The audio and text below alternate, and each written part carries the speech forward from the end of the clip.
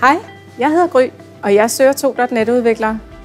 Visma er en af de førende på markedet inden for løn og HR-systemer.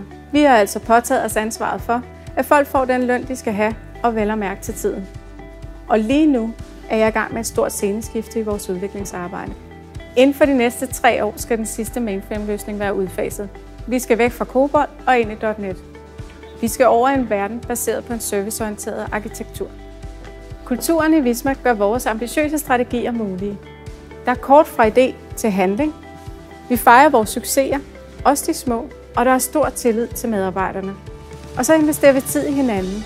Vi samles på tværs af afdelinger, og vi lærer hinanden rigtig godt at kende.